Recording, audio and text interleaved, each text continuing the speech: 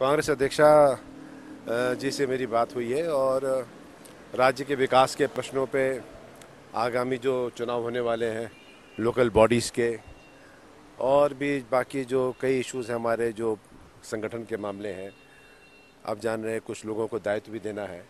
तो काफ़ी मेरी विस्तृत में बात हुई है और उन्होंने निर्देश दिए हैं। इस वक्त तो उनका एक ही संदेश है, पार्टी को सब एकजुट होकर के और ये जो नगर निकाय चुका हो रहे हैं।